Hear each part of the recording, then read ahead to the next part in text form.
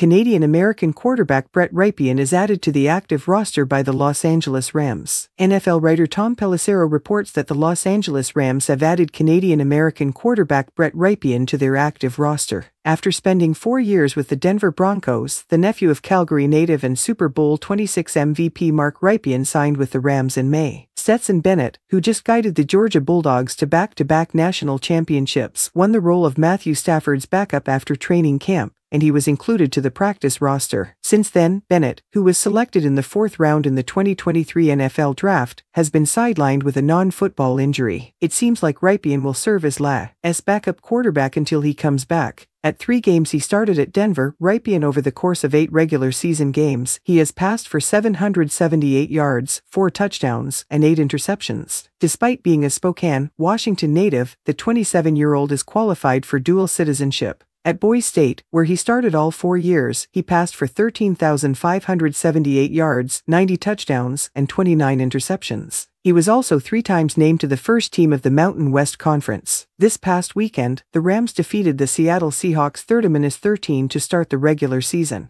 On Sunday, September 17th, Los Angeles will play home to the San Francisco 49ers. Kickoff is set for 4.05 p.m. EDT.